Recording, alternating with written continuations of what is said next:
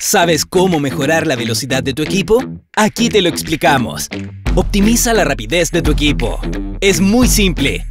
Ingresa en Ajustes y luego en Mantenimiento del dispositivo. Presiona Optimizar. Y de inmediato en Realizado.